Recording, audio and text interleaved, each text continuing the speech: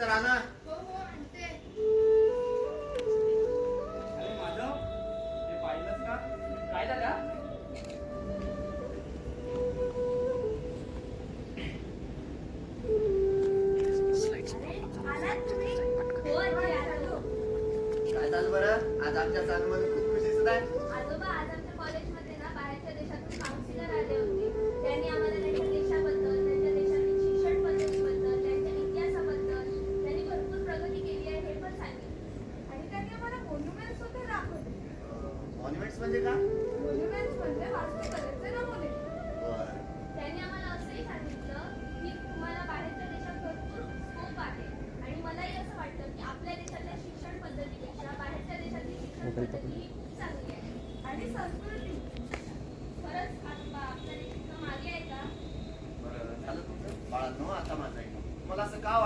भारतानं जगाला काहीच नाही दिलं आहे. भारताची गौरवशाला इतिहास माहीत आहे तुम्हाला? भारतातील गुरुकुल पद्धती जगामध्ये अति प्राचीन शिक्षण पद्धती म्हणून ओळखली जाते. याच गुरुकुल पद्धतीचा कालावधी अदमासे कौटिल्य आधीचा आहे. यामध्ये गुरूंच्या घरी राहून गुरूंचा एक कुटुंबाचा भाग म्हणून शिष्यांना शिक्षण घ्यावे लागतं. आणि विशेष म्हणजे गुरु शिष्याकडून कुठल्याही प्रकारचे शुल्क घेत नव्हते. मग शिक्षण पूर्ण झाल्यावरच गुरूंना गुरुदक्षिणा आणि आजचे विदेशी लोक तुम्हाला हे सगळं सांगून गेलेत ना? त्याच विदेशी लोकांनी काही वर्षापूर्वी असंही वक्तव्य केलं की जर तुम्हाला भारतावर आपलं वर्चस्व प्रस्थापित करायचं असेल तर सगळ्यात आधी तुम्हाला भारतातील गुरुकुल पद्धत ही बंद करावी लागेल.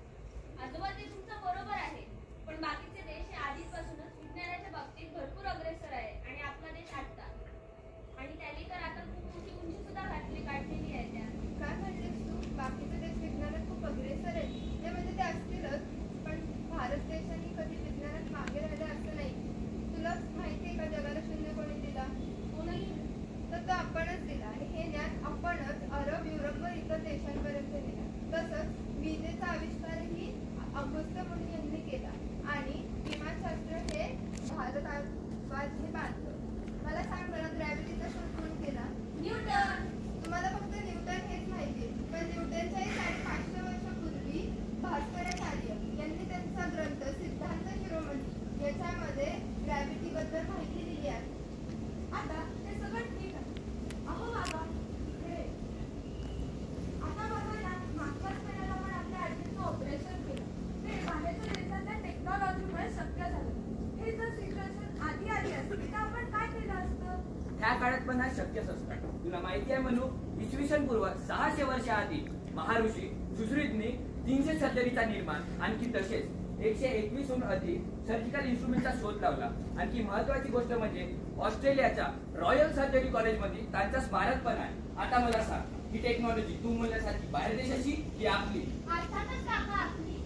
आणि बाहेर मला अजून एक गोष्ट सांगतो तुला सूर्य आणि पृथ्वीमधलं अंतर किती आहे माहिती आहे का हो आजी किती? जवळजवळ पंधरा कोटी किलोमीटर इतका आहे आणि हे तुला कसं समजतं बरं याचा शोध साडेतीनशे चारशे वर्ष आधीच चाललाय बर पण तुम्हाला हे माहिती आहे का की याचं वर्णन आपल्या हनुमान चालिसे कैक वर्षांपूर्वी करून ठेवलेलं आहे एका सांकेतिक भाषेत कोणत्या ग जुगसहस्र योजन परभानु परजान म्हणजे काय?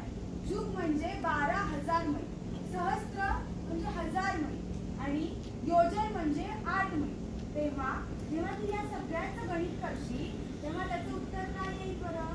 काय ग? तुम्ही म्हणला तसं त्याचं उत्तर येईल पंधरा कोटी किलोमीटर. मग याच्यावर तुमच्या लक्षात आलंच असेल की या गोष्टी जगाला कळण्यापूर्वी याचा शोध आपल्या भारतात कैक वर्षांपूर्वी लागलेला आहे. तुला माहितीये का?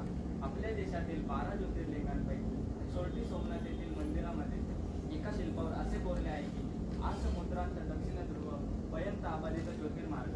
याचा अर्थ असं होतो की त्या ठिकाणापासून तुम्हाला दक्षिण ध्रुवापर्यंत समुद्रामध्ये कोणत्याही प्रकारे जमिनीचा तुकडा आढळणार नाही म्हणजे जमीन आढळणार आणि आता मला सांगेल आप- विज्ञानानं सॅटेलाइटचा शोध तर असताना म्हणजे त्या काळी कसं कळलं असेल?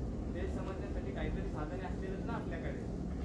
म्हणू तू मागाशी म्हटल्याप्रमाणे त्यांनी तुम्हाला व- वास्तुकलेचे उत्तम नमुने दाखवले. तुला हे माहिती आहे का अकराव्या आणि बाराव्या शतकात राजा चोला यांनी याची तीन मंदिरे उभारली जी उत्कृष्ट मानली जातात.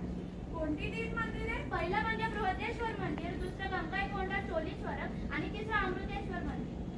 ओके आता पुढे जाऊन तू जे मंदिर पाहिलीस तर तुला समजेल की आपली पूर्वीची स्थापत्य कला किती प्रगत होती. ओके. आजोबा त्यांनी आम्हाला त्यांच्या देशातल्या डिफेन्सबद्दल सुद्धा खूप माहिती सांगितली. ते ऐकल्यावर असं वाटलं की त्यांची युद्धनीती खूपच उत्तम आहे. म्हणू काय बरं म्हणालीस तू? त्यांनी तुला देशाच्या डिफेन्सबद्दल माहिती सांगितली. अगं ज्या युद्धनीतीबद्दल त्यांना? एवढा अभिमान वाटत आहे ती युद्धनीती बऱ्याच देशांनी हाताकडे अवलंबली आहे.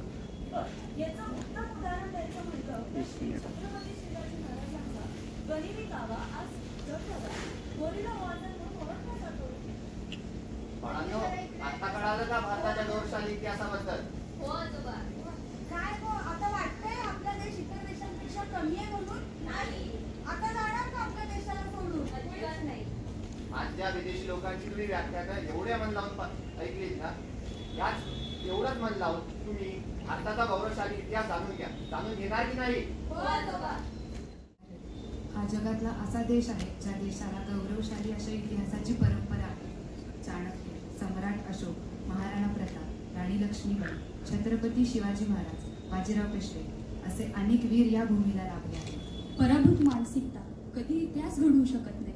वैचारिक जिवंतपणा जाज्वल्यता वाणीदार वृत्ती आणि ईश्वरनिष्ठा अशा चार व्यक्ती वैशिष्ट्यांनी जिजाबाईंचे व्यक्तिमत्व होते. म्हणून छत्रपती शिवाजी महाराजांसारखे युगपुरुष तयार झाले. आपणच आपली संस्कृती जपली पाहिजे. आपला ऐतिहासिक वारसा जपला पाहिजे. पाश्चात्य संस्कृतीची वाहवा करण्याआधी आपल्या देशाचा इतिहास जाणून घेतला पाहिजे व तो इतरांपर्यंत जास्तीत जास्त पोहोचवण्याचा प्रयत्न केला पाहिजे. आपण म्हणताना सहज म्हणून जातो की आम्ही विवेकानंद अब्दुल कलाम यांच्या मार्गावर चालतोय. पण आपण खरंच चालतोय का? याचा विचार आपण नक्कीच कुठेतरी केला पाहिजे. अब जा गुठो कमर कसो मंजिल की राह बुलाती है ललकार रही हमको दुनिया फेरी आवाज लगाती है. आपण ज्याला सुधारणा म्हणतो ती फक्त आपल्या कपड्यांमध्ये झालेली दिसून येते. पण या कपड्याच्या आतला माणूस तो माणूस मात्र विज्ञानाला बदलता आला नाही. म्हणूनच तो बा- माणूस बदलण्याचा आणि त्याला घडवण्याचा या नाटकाच्या माध्यमातून आम्ही केलेला हा छोटासा प्रयत्न.